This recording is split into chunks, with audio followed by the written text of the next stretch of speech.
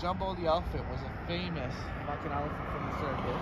Got loose, ran away, got hit by a motherfucking train, and ended up here as a giant statue.